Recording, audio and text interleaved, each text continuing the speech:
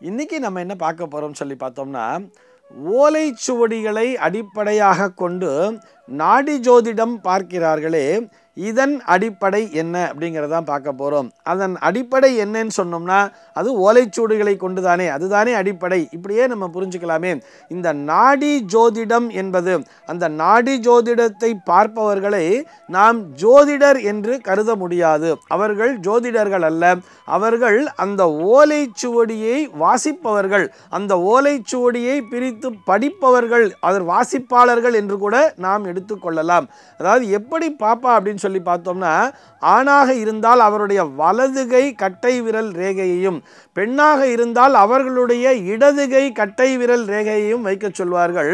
அந்த ரேகைகளினுடைய கணக்கினை கொண்டு அதற்கு இந்த அடிப்படையான ஒரு கணக்கு இத்தனாவது ஓலைச்சுவடி அப்படிங்கிற மாதிரி ஒரு கணக்கு வச்சிருப்பா.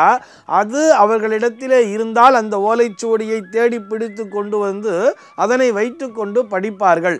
அப்படி படிக்கும் பொழுது உங்களுடைய பெயரினுடைய முதல் எழுத்து இப்படி இருக்கலாம். இரண்டாவது எழுத்து இப்படி இருக்கலாம்னு சொல்லிகிட்டே வருவாள் எஸ் ஆர் நோ அப்படிங்கிற ஒரு ஆன்சரை மட்டும்தான் நம்ம சொல்லணும். ஆமாம் இல்லை ஆமாம் இல்லைங்கிற இந்த ரெண்டு ஆன்சர் சொன்னால் போதும். நம்ம ஆமாம்னு எத்தனை ஆன்சர் சொல்லிட்டு வரோமோ அதற்கு எது சூட்டாகிறதோ அந்த ஓலைச்சுவடியை கொண்டு வந்து அதனை வைத்துக்கொண்டு நீங்கள் இத்தனாவது வயதிலே இங்கே நாடி வந்திருக்கிறீர்கள் என்பது முதற்கொண்டு அவர்கள் சொல்ல துவங்குவார்கள். நாடி ஜோதிடம்னு சொன்னால் ஏதோ நாடி பிடிச்சி பார்த்து ஜோதிடம் சொல்கிறது என்பது கிடையாது. அவர்கள் எப்படி அதற்கு விளக்கம் சொல்கிறார்கள்னு பார்த்தோம்னா அவர்களை நான் நாடி வந்து பலன் பார்க்கக்கூடிய நீங்கள் ஒரு இருபத்தி ஏழாவது வயதிலே என்னை நாடி வந்திருக்கிறீர்கள் என்று சொல்லி அந்த ஓலைச்சுவடியானது துவங்கும். அப்படி சொல்லப்படுவதுதான் நாடி ஜோதிடம். இது எப்படி சார் சாத்தியம் அப்படின்னு சொன்னால் இது அறிவியல் கணக்கிற்கு அப்பாற்பட்டது. அவர்கள் எப்படி சொல்கிறார்கள் சொல்லி பார்த்தோம்னா இதையெல்லாம் அந்த சித்தர்கள் எழுதி வைத்திருக்கிறார்கள் சொல்றா அகத்தியர் முதலான ஒரு ஏழு ரிஷிகளினுடைய பெயர்களை சொல்கிறார்கள். அதில் ஒரு சில பேர் சிவவாக்கியர் அப்படிங்கிறதையும் எக்ஸ்ட்ராவாக சேர்த்துக்கிறார் ஒரு சில பேர் போக போகரினுடைய நாடி ஜோதிடம் இருக்குன்னு சொல்கிறார் பெரும்பாலும் இவர்கள் அகத்தியரினுடைய அந்த நாடிகளை பயன்படுத்துகிறார்கள். அகத்தியரினுடைய ஓலைச்சூடி என்ற பெயரிலே இதெல்லாம் தஞ்சாவூர் சரஸ்வதி மகாலிலே பாதுகாக்கப்பட்டது. இடையில இங்கிலீஷ்காரை வந்து எல்லாத்தையும் தூக்கி எல்லாருக்கும் கொடுத்துட்டான் அந்த மாதிரி வந்ததெல்லாம் நாங்கள் சேர்த்து கலெக்ட் பண்ணி வச்சிருக்கோம் பத்திரமா அப்படிங்கிற மாதிரி சொல்கிறான் அந்த நாடி ஜோதிடர்கள்லாம். இதற்கு பிரதானமான இடமாக தலைமையிடமாக அந்த வைத்தீஸ்வரன் கோயில் என்கின்ற அந்த ஊரானது பார்க்கப்படுகிறது. அதில் கூட பார்த்தோம்னா பெரும்பாலும் இது ரிசர்ச் பண்ணி ஒரு ஃபார்ட்டி பர்சன்டேஜ் ஆஃப் பர்சன்ஸ்க்கு மட்டும்தான் இந்த ஓலைச்சுவடி கிடைக்கிறது. மற்றவாளுக்கு வந்து கிடைக்க மாட்டேங்கிறது அப்படின்னு சொல்கிறா ஆக நீங்கள் நாடி செல்லும் பொழுது அவர் உண்மையான மனிதர் தானா? அவரிடத்திலே உண்மையிலேயே அந்த ஓலைச்சுவடிகள்லாம் இருக்குதா அப்படிங்கிறத பார்த்துட்டு போக வேண்டியது. ஆனால் இதற்கு பின்னால் இருக்கக்கூடிய விஷயங்களை நாம் ஆராய்ச்சி செய்து பார்க்க முடியாது. ஏன்னு சொன்னால் நிறைய பேருக்கு கிடைக்கிது நிறைய பேருக்கு கிடைக்கிறது இல்லை ஆனால் இவர்களும் அதிலே உரைக்கப்பட்டிருக்கிற அந்த பலன்களும் சொல்லி பார்த்தோம்னா அவர்களும் ஒரு பனிரெண்டு காண்டங்களாகத்தான் எடுத்து சொல்கிறார்கள். ஒவ்வொரு காண்டமாக படிச்சுட்டே வரா. முதல்ல பொதுவான பலன்களை கொண்டு ஒரு பொது காண்டம் அப்படின்னு ஒன்று படிக்கிறா அது லக்னபாவத்தை கொண்டும். அதே மாதிரி இரண்டாம் காண்டம் மூன்றாவது காண்டம் நான்காவது காண்டம் ஐந்தாவது காண்டம் என்று ஒவ்வொரு காண்டமாக பிரிக்கிறார்கள்.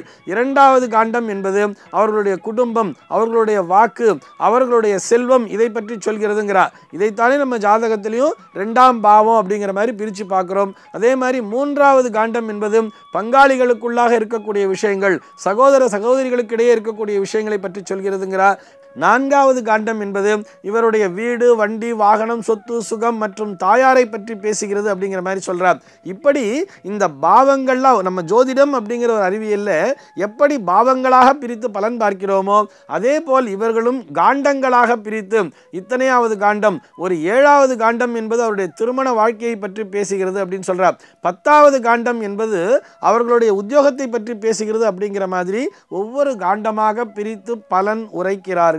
ஆக இதிலே அதாவது கலியுகத்திலே இது போன்று நடக்கும் என்று அந்த அகத்திய மகரிஷி முன்னரே எழுதி வைத்திருக்கிறார். அந்த ஓலைச்சுவடிகளை கொண்டு அந்த சுவடியை எவர் ஒருவர் எங்களை நாடி வருகிறாரோ அவருக்கான சுவடி கிடைக்கும் பொழுது அதனை பிரித்து நாங்கள் பலனை வாசிக்கிறோம். நாங்கள் வாசிப்பாளர்கள் தான் நாங்கள் ஜோதிடர்கள் அல்ல என்று அந்த நாடி ஜோதிடர்கள் சொல்கிறார்கள். அதிலேயே பரிகார காண்டம்னு ஒன்று இருக்கு. நீங்க இன்ன இன்ன பரிகாரத்தை செய்ய வேண்டிய வேண்டியது அப்படிங்கிற மாதிரி அதில் எழுதியிருக்கு அப்படிங்கிற மாதிரிலாம் சொல்கிறார். ஆக இதனுடைய நம்பகத்தன்மை என்று நாம் பார்ப்பதை விட அதனை நம்பி அதில் இருக்கக்கூடிய உண்மையான விஷயங்கள் நம்மோடு ஒத்துப்போகிறதா? உங்களுடைய சகோதரனுடைய பெயர் இப்படி இருக்கும் உங்களுடைய மனைவியினுடைய பெயர் இப்படி இருக்கும்னு சொல்லி அவர்கள் கொஞ்சம் தெளிவாகவே சொல்லின்னு இருப்பார் அதில் உங்களுக்கு எந்த இடத்துல சூட் ஆகிறதோ அதை நீங்களாக அட்ஜஸ்ட் பண்ணி பார்க்காம உண்மையிலேயே அந்த பெயர்கள் எல்லாம் அங்கே இடம் பிடித்திருக்கிறதா? அவர்கள் சொன்ன விஷயங்கள் உங்களுக்கு சரியாக இருக்கிறதா? அவர்கள் சொல்வது போல சரியாக நீங்கள் அந்த வயதிலே தான் அங்கே நாடி சென்றிருக்கிறீர்களா என்பதையெல்லாம் பார்த்து கொண்டு அதற்கு ஏற்றாற்போல் உங்களுடைய பலனை அறிந்து கொள்ள வேண்டியது. ஆக இந்த நாடி ஜோதிடத்தினுடைய அடிப்படையான விஷயம் எது என்று கேட்டால் அந்த ரேகை சாஸ்திரத்தின் அடிப்படையிலே அதாவது இது கைரேகை ஜோதிடமும் அல்ல அதையும் நல்லா புரிஞ்சுக்கணும். ஒரு ஆண்மகனினுடைய அந்த வலதுகை கட்டை விரலினுடைய ரேகையை வைத்து அந்த ரேகைக்குரிய கணக்கீட்டினை கொண்டு இது இத்தனையாவது ஒரு ஓலைச்சோடியாக ஓலைச்சுவடியாக இருக்கும் என்று சொல்லி அந்த ஓலைச்சுவடியை எடுத்து அவர்கள் பலன் சொல்கிறார்கள் அல்லவா? இதுதான் அந்த நாடி ஜோதிடத்திற்கான அடிப்படையான விதி.